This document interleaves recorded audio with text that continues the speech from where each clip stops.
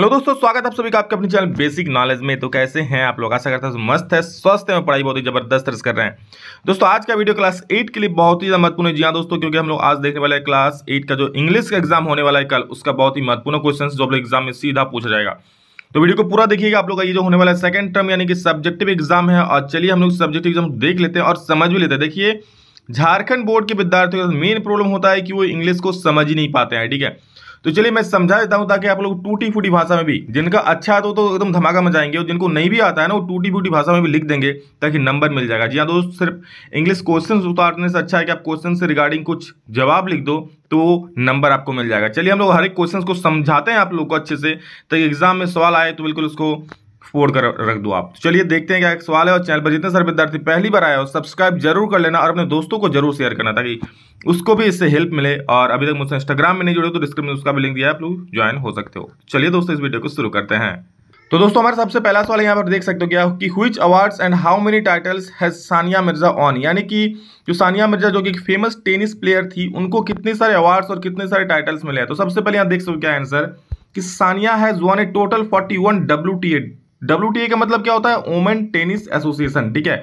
And 41 TF ये उनको इतने सारे टाइटल्स मिले हैं क्या?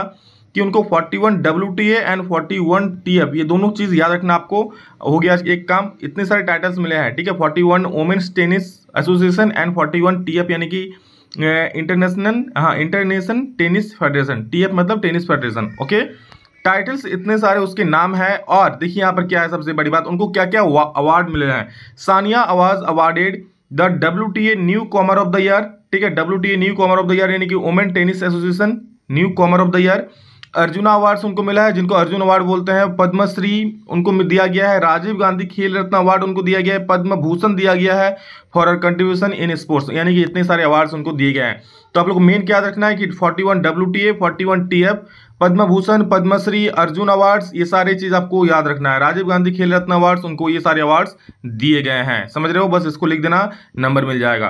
ठीक है, अगर उतना नहीं भी लिख पाओगे तो।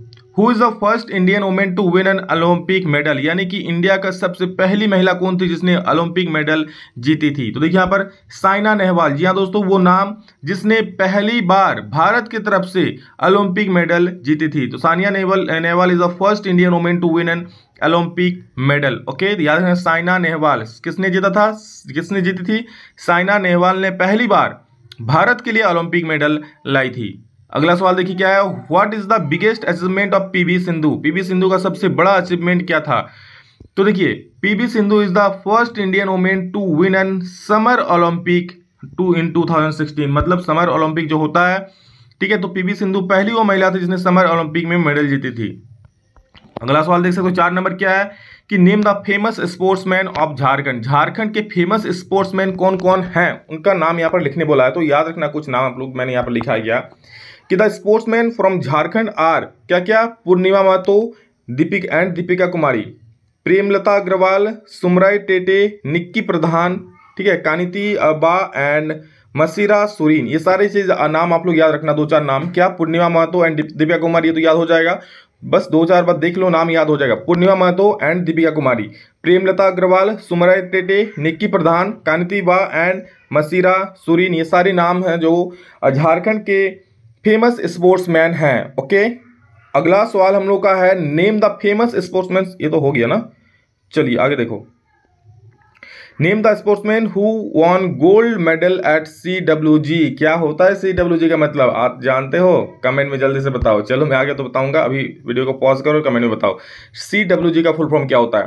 तो देखो, name the sportsman who won gold medal at C W G मतलब उस खिलाड़ी का नाम लिखना है जिसने सी डब्ल्यू जी यानी कि कॉमनवेल्थ गेम जो होता है, ठीक है, उसमें गोल्ड मेडल हासिल की थी। तो देखिए क्या नाम है उनका?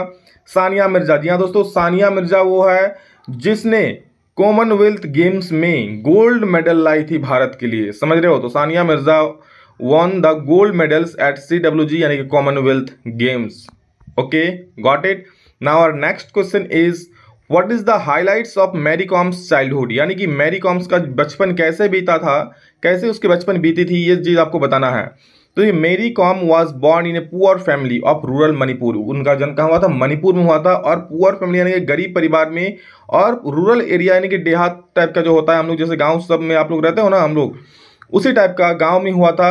और एक गरीब फैमिली में कहाँ पे? मणिपुर में। तो याद रखना Mary Kom was born in a poor family of rural Manipur ठीक है? मणिपुर का देहात में। She grew up in a humble surroundings वो ग्रीव मतलब बड़ा होना, ठीक है? होता है ना ग्रो तो ग्रो का पास्ट टेंस ग्रो मतलब क्या? बढ़ना।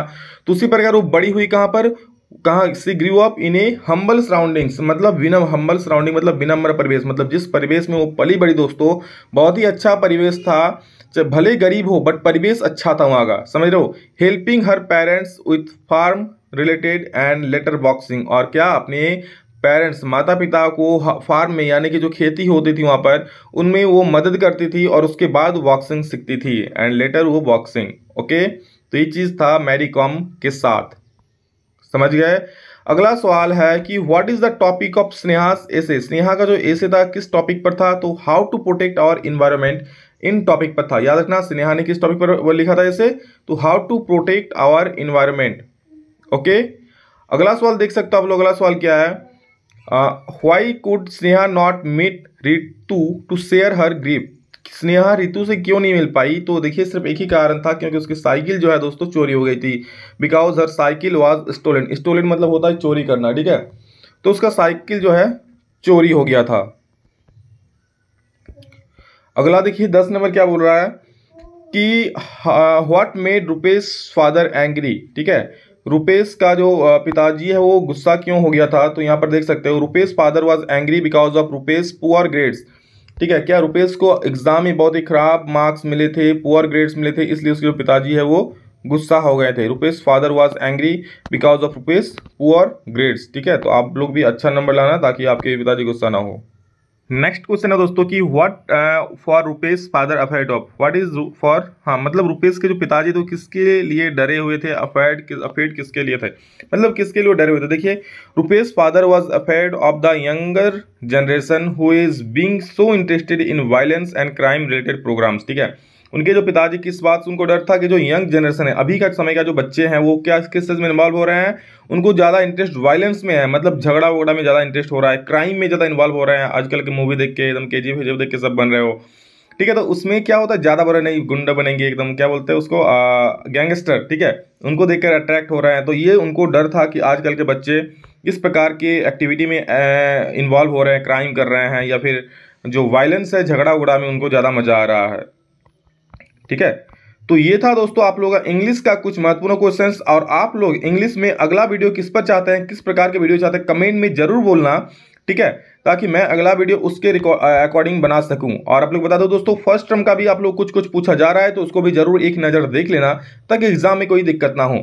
सेकंड टर्म का सारा सिलेबस मैं आप लोग कवर करा दूँगा, बस आप लोग एक काम करना है चैनल को सब्सक्राइब करके और ये वीडियो आपके दोस्तों उसको ज़्यादा से ज़्यादा शेयर कर दो, ताकि सभी दोस्तों के पास पहुँच सके और अच्छे समझ करके एग्ज़ाम में खुद की भाषा में लिख सके। देखिए इंग्लिश रटना डिफ़िकल्ट है थोड़ा सा झारखंड बोर्ड के लिए। मैं ये नहीं कहता हूँ डिफ़िकल्ट सबके लिए है बट बचपन से जब ऐसा माहौल नहीं रहता है तो इंग्लिश पढ़ना थोड़ा दिक्कत वाली बात होती है सबके लिए, मेरे लिए भी था। ठीक है? लेकिन हाँ आप लोग जिस तरह से मैंने समझाया, उस तरह समझ सकते हो, और टूटी फूटी भाषा में भी आप लिख सकते हो तो बेटर मार्क्स आपको मिल सकता है, समझ रहे हो? तो बस ऐसे ही पढ़ो और जिस प्रकार से मैंने बता दिया सबको समझ लो और एक बार मैंने यह दोबारा देख लो, ठीक है? और किस प्रकार वीडियो चाहते हो, कमेंट में सभी लोग ज़रूर बोल देना। चलिए so love you all thank you love you अगले इतना ही। फिर नेक्स्ट वीडियो में जल्दी, तब तक ले जय हिंद, वंदे मातरम।